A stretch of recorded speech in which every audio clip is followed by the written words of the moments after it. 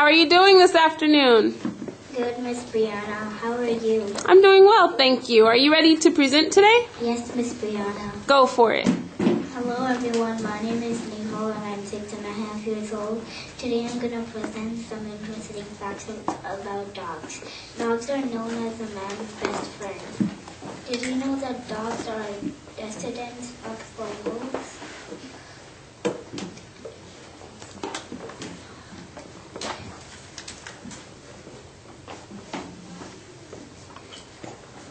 Dogs can help in many ways, and they they're good pets. They're great pets. Dogs are used for the hunters and by the police because they can hear and smell well. I like the bulldog because it's kind of cute. Thank you, everyone. I hope you enjoyed my speech. Good job. Good job Thank you, friends. Nihal, you did a great job. You knew exactly what you were saying. You were well prepared.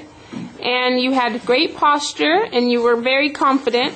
But next time, I would like for you to talk with more enthusiasm. Sound happy about dogs. We love dogs, right? Yes, Miss Brianna. Yeah, sound happy to talk about the. What was your favorite dog again?